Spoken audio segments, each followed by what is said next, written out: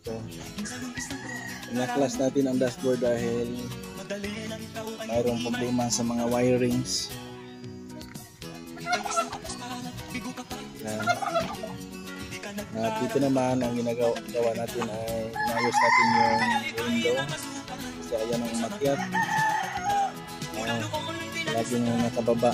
Dahil yung kanyang guide ay lumihis sa kanyang kinaroonan so sa pinaglagyan niya so ibalik lang natin at ayusin ng konti. So yun ilagyan natin ng konting grasa para maayos na at ibalik natin to. Dito dito natin ligaan yan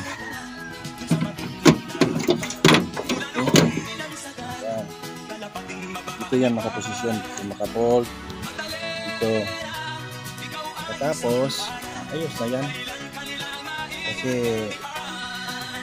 sinik natin yung wire niya.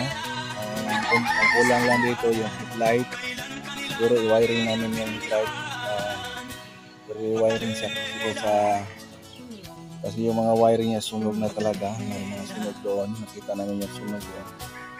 So ilisan na natin. Palitan na natin ng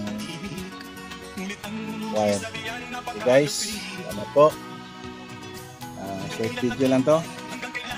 Kaya so bumaba na guys. Na